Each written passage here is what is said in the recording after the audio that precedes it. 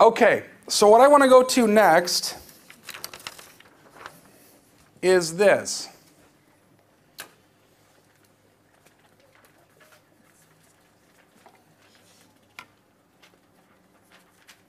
Hmm. Okay. I want to talk a little bit about negotiating and due diligence with multis um, because this is an important part of uh, you getting into this business. Um, remember what I talked about yesterday. I think it's important to consider the idea that when somebody is selling a property, there's a problem to solve a, each and every time. Each and every time. So, getting uh, giving the seller what he or she needs and you taking what you want is ultimately what you want to do. There's five rules with this. Five rules. Number one, engage in a competent broker. I can't tell you enough how important that is. A good real estate agent or broker is worth their weight in gold. Um, I've been a broker here for quite a while in this state, and the thing that I, I guess I've realized over my uh, real estate investing career is that some real estate agents seem to do real estate as a hobby, and other real estate agents seem to take it very serious. And if I was starting out and picking a market, like many of you are, I would try to find obviously the one that's taking it very serious, in which they know their market they know how to communicate to their clients, and they have connections. They're networked in which they can find deals. Okay? A lot of the deals that you're going to find that are going to make you most of your money are not going to come from the MLS. They're not going to come from HomePath or HomeSteps. They're not going to come from uh, LoopNet. They're deals that you're going to be able to have networked with that real estate agent or broker. Okay, so it's very important that you um, uh, align yourself with somebody that's good. They can provide a wide range of information about the marketplace. They're an effective third party, and they help keep emotions out of it. And that's something that I always have to remind myself, especially when I'm looking at deals. I've got to keep the emotions out of it. I've got to keep the emotions out of it because it's a natural thing. It's something that you're going to uh, probably battle your whole investing career. Okay? Because you'll find a deal, you know what you can do with it, you really, really want it, but the numbers have to work. When I'm looking at a divide and conquer deal, and I know that I'm going to put it through divide and conquer, and uh, I know it without a doubt, I still make sure that those numbers work. Because if for some reason I'm not able to put it through divide and conquer, I'm going to have to run that building as a normal, regular apartment building. Does that make sense? Okay. Number two, justify your asking price. And I guess that has a dual meaning. I always try to find out from the agent or broker that represents the seller how they came up with the pricing they did. How did you get to this price? Because if they're talking about a multifamily unit building, uh, they're going to tell me about the NOI and they're also going to tell me about the market cap rate that they applied to that price and how they came up with that. That's where I um, can decipher between any issues with that pricing standpoint. Now, here's the flip side of that.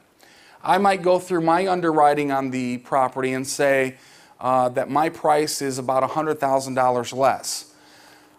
I'm using maybe a different NOI perhaps, or I'm using a different market cap rate that I've gotten from credible sources. And I want to find out about that, or at least start to open that dialogue with the other agent. So I'm always going to justify my ask or my uh, offer price by the NOI and by the market cap rate. Does that make sense to everybody? Mm-hmm. Okay. Questions? We had a question? Uh, you kind of answered it because when you were saying about justifying the asking price, I was kind of, we're on the other side of this, we want them to justify to us, but Yep, I want to know how they priced it, and I want to know, uh, I want them to know how I'm justifying my offer price, okay? Because that lets them know that I'm an astute investor. I know the market, I know what's happening there, I know how, uh, what's been going on with cap rate, I know what's been going on with the property's NOI itself. I want them to know that use the income statement to back up my figures. So I'm going to be looking at marketing material perhaps first. And in that marketing material, it's going to tell me a certain net operating income, or at least it should. I'm taking that net operating income and using that primarily in my offer price. I don't want to get into three years of financials yet. I want to use whatever they're giving me on the marketing side because I want to leave room for negotiation. Remember yesterday where we said uh, the negotiating doesn't stop when you get it under contract? I, I, I really want you to follow that premise.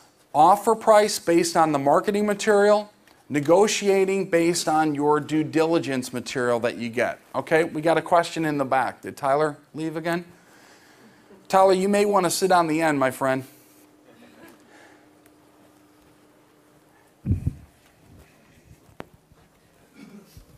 In most of the marketing material that they send out, they usually, especially on distressed multifamily, they usually list it uh, with the stabilized or the predicted stabilized Pro forma. pro forma. Uh-huh. And how do you how do you deal with that? Because they're basing it off the cap rate uh, at the stabilized value. Yeah. Sometimes you'll have on their pro forma and uh, um, current or actual. Other times you'll just have pro forma. That's fine. If they're giving me that, I'll make an offer sometimes just on the pro forma. But once I get the due diligence, once I get the last three years, say, I'm going to really scrutinize those and see how close they are. And if I don't think I can do A, B, and C, or if I think that I'm giving that seller value or credit for something that I'm going to be doing, I'll adjust from there. I'll adjust from there. So I expect to negotiate even when the, con- the property's under contract. I expect to. It's not over, I expect to. Okay? Everybody else good? Okay. So buy on current market value, not future. Now, I know the definition of the income approach is, is the current value of future income. Remember me talking about that yesterday? But this kind of ties in with his question a little bit. You've got to kind of um, ratchet down almost from the pro forma numbers and maybe the pro forma value that they're giving you in saying, number one, how close am I in all actuality with the property right now? Can I do A, B, and C to the property to drive the value? And number three, am I giving this seller credit for something that I'm going to be doing? If I am, I'm probably, most likely, going to ratchet down from that pro forma price pretty good. The other thing, and probably the most important of the four, is this. I might give the seller his or her price because I want the terms. I may give them that price. I want the terms. Remember what I said yesterday? Sellers are motivated by price, buyers should be motivated by terms. So that's the main reason I look at the marketing material because if I can get close to that marketing price, I know that I have a better chance of getting my terms. Okay? Number three. No. Sure. What would be an example of, Hold, hold on one second. What would be an example of you giving the seller credit I- I- what for do you mean? something that you're going to do? So the terms? In that negotiation, you, s- that was number three or Yeah. something. In other words, am I paying that seller a million dollars when the property is only worth about 850 today? But I know by doing A, B, and C, we can get the value up to a million dollars? Why would I want to give him that or her that extra $150 when I'm doing the work? Does that make sense now? Okay. Larry? Yeah, so if you, if you got an example that pro form is like they're really unrealistic, So last night, looking at one, like there's no vacancy provision, they're underestimating the maintenance drastically. Do you take that on when you put in the offer and ratchet down the price then? Or do you just give them their price and then beat them later? Or what's, Beat them later, did you say? beat them, da- beat, the- beat them down later? with- Beat on the them price? down. Give me that. yeah, um, it really depends on the scenario. It depends what I want out of the deal. Um, it depends why they're selling, what their urgency is, um, that type of thing. I take all those factors into consideration. But if they're way out of line, and I know that by looking at the marketing material, usually they're way out of line for a reason. Um, they're unrealistic in the pricing. They need the money. The broker just priced it improperly. Something. And I want to find out why that is. When you have an extremely high, unrealistic value in the marketplace, that property is probably, if it hasn't already, going to sit on the market longer. Remember what I said the second day. As a property sits on the market longer, what grows? the motivation of the seller grows. So that's fine with me because then I'm more apt to get my terms. So I'll look at all that stuff in making my decision. Okay? Good question though. Wayne, we got Yoshi coming at you. So, um, on your, on the, uh, your point about the, uh, the seller more interested in, in price than the buyer on terms, um, if we can just go to the single families for a sec, like that kind of, quite often it seems like they're, uh, it's the reverse. That, um, if they're getting all cash, if they're getting, uh, pay, a short uh, closing, all the terms seem to motivate the seller, and they'll come down a bit on price. Like, can you explain that? Yeah, and Wayne, you're primarily talking about things like on home path, home steps, bank REOs. Even even other sellers. Okay. Um, you'll see that a lot with bank REOs and home path and home steps. Um, they want the terms to be lo- rock solid, typically because they've got an asset on their books that they need to be sure that they're going to sell. Um, you see a lot of asset managers for banks when they're looking at their portfolios, or um, we were on the phone with one in um, with one of Pierre and Louise's deals that uh, we were talking to the asset manager, and she, you know, we got on the phone with her, and she was making it clear that her objective was to make sure that we were rock solid and they were going to be able to sell that asset. That's what those types of assets and asset managers want to focus on, making sure they get rid of it. So they're really caught up in the terms. Anytime you're going in all cash, uh, you want to make sure that you are closing quickly, uh, very quickly, seven days or less. You've got no contingencies on that. You're more apt to get the deal. The same thing with um, when you're bidding on home path and home steps, they go through a formula, and um, the same thing. They want to ensure that you have the cleanest deal possible.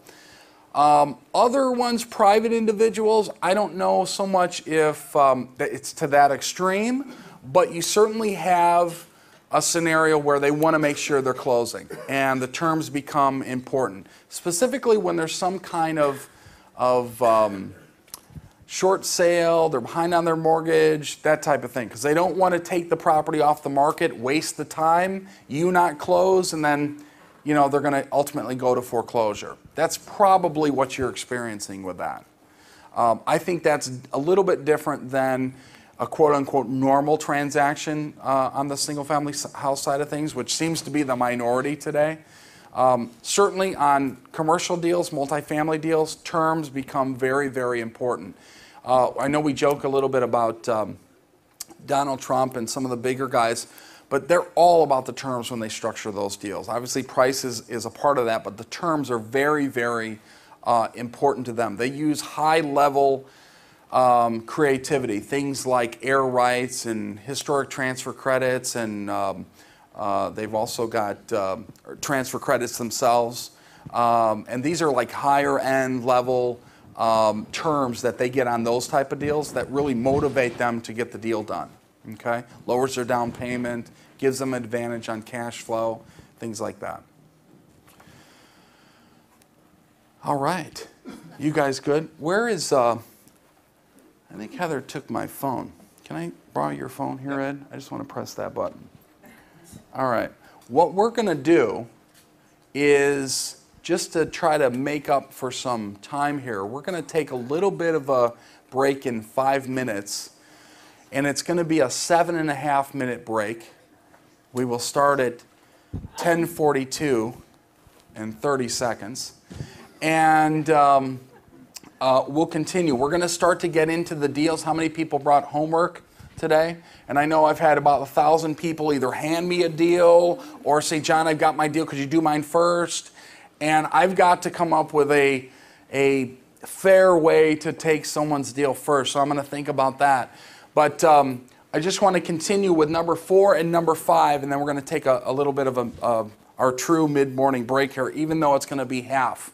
Even though it's going to be half. Number four, institute contingencies in your offer. Make sure that you're setting this up. I put on here a 30 day free look.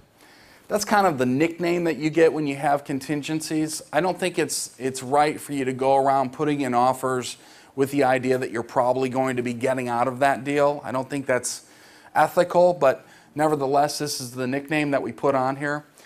Contingencies are important because it allows you enough time to study that investment. That's what the definition of due diligence is. In studying that investment, I really want to make sure that I go back to that skeleton. And I'm looking at income and everything that comes into the property as income. I'm looking at expenses and everything that goes out of the property to operate that property monthly. I'm looking at NOI. I'm looking at the debt service that I'm going to put on there. And ultimately, I'm looking at my cash flow. Now, that's one half of my due diligence. The other half is saying, okay, what am I going to do to this property over the next 18 months in which I'm going to drive value? That's the other half of my due diligence and the purpose for it. Um, so I'm, I'm definitely looking at that. You want to be able to uh, walk away at any time. Again, I just want to pause you on that. Your objective is to not tie properties up to ultimately walk away. Again, I think that would be unethical if you think you're going to walk away for you to tie that property up. But I want you to be able to study that so if something comes up that you don't like on the property that has to do with that skeleton or has to do with the play on the property, you can get out of the deal because of the contingencies or the conditions that are set forth in that contract. I think it's very uh, important. Number five, know when to walk away. Know when to walk away from the property. The, probably the best deals I ever did was the ones I walked away from. I remember once doing a deal in Columbus, Ohio. Columbus is apartment haven. There is a lot of apartments there. It's where the um, it's where Ohio State University is. I remember spending about four, just under forty thousand dollars on due diligence for this property. It was a very large property, only to realize that I w- I didn't want to buy it. And I felt like if I did buy it, I was probably going to be uh, in a lot more challenge than if I did not. So I walked away from it and I actually spent 40 grand. Now I got some of that back because I was able to um, sell some of my due diligence information. But nevertheless, sometimes you'll go through the time, effort, money uh, to uh, look at studying the investment and buying the property only to walk away. And I think sometimes that's your best move. So don't get caught up in negotiations. If the seller's not convinced, walk away. When I bought that property from um, the gentleman that was pounding his, his fist on the table, uh, when I first made the offer six, or six weeks prior, um, I knew that you know I was taking a risk. I, I decided that the property was worth X. I put the contract together. I sent that over to the seller. He said no, that's fine. I left it alone. I revisited for six months, and you know, his motivation changed because time on market changes seller's motivation. Um, you may be able to get better terms. In that scenario, I did go back in at the same price six weeks later, but I asked for a 10% seller carryback. Um, and so I was able to not only get the price, but also the terms on that. So if you walk away from a deal, make sure if it's something that you're interested in, put it in your calendar to revisit it in six months or six weeks or eight weeks, somewhere something like that. And you'll see a lot of times the motivation has changed of that seller. Is there any questions on that? Yep, Yosh? Sorry, buddy.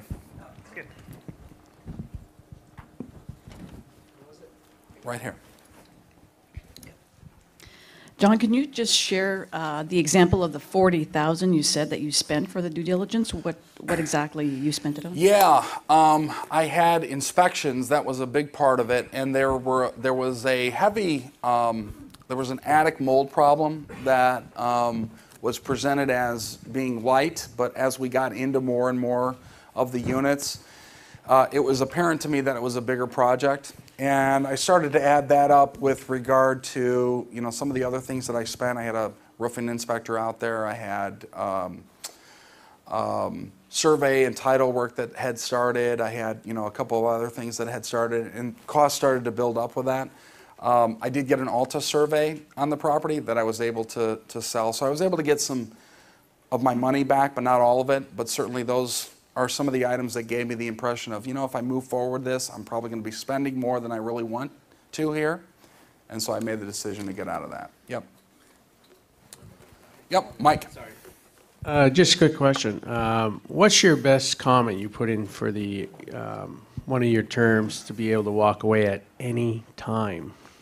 Well, if you're going to think about contingencies with contract law, the first advice I would give you is to sit down with a good attorney in that area, number one, that knows real estate, knows contract law, knows the market that you're in.